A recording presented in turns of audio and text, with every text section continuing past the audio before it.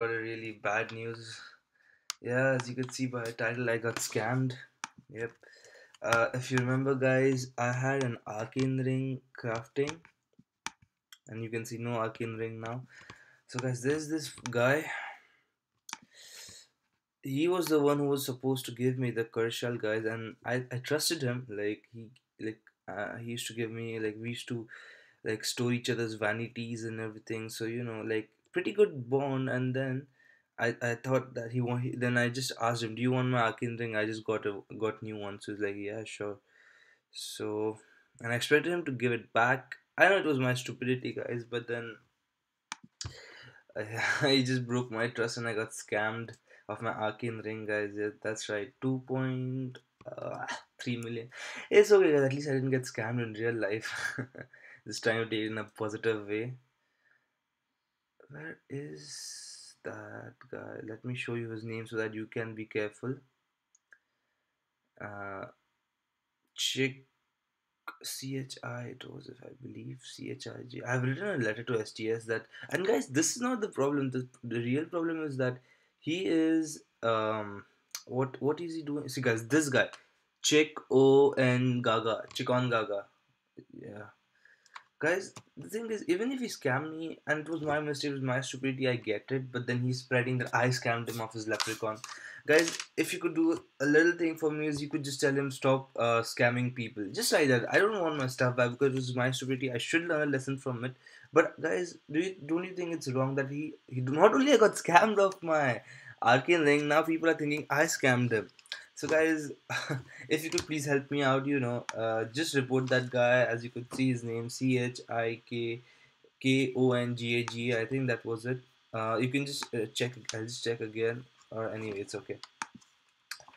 So on a good note guys i have 1.2 million. I'm so sorry guys. I won't be able to get you glintstone gameplay soon since i got scammed of my arcane ring uh, unfortunately, guys, I thought uh, he I should trust him, but biggest mistake I made.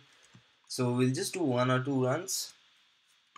Or, or, or maybe guys I'm not really in the mood now. It's really feeling a little bad that like I wait for like six days and six days and I used even uh, uh, three of my platinum for that uh, thing for for this thing uh, what do you call it for access you know for you know for using getting the arcane ring arcane ring more quick. Now I don't have it anymore. And still stuck with this. It's okay guys. It's life. It's life. Accept it. Guys be careful of that guy. Please don't get scammed. Don't trust anyone in this game. Not even your brother mother anyone guys.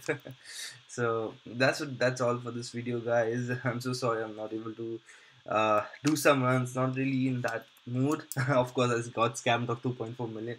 But it's all right as long as you know we save real life money this is just a game.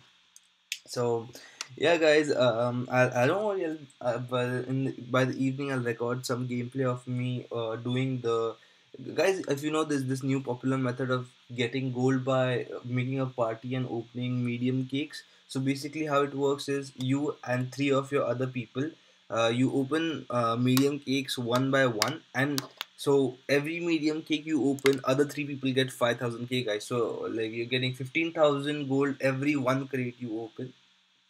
So yeah. Uh, i'll make make a gameplay about uh, make a uh, like a video about it and post it by tonight.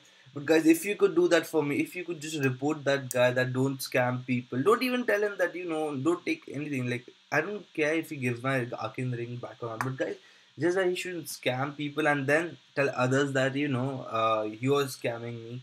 Uh, he like I scammed them. So guys if you could help me out here it would be really great guys. Thank you so much for watching guys. Peace